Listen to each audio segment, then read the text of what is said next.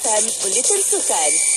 Teka-teki ke mana hala tuju bekas pengendali Sabah FC, Dato' Ong Kim Sui akhirnya terjawab apabila beliau secara rasminya diumumkan sebagai jurulatih pasukan tangga ketiga tercorot carta Liga Indonesia Persis Solo.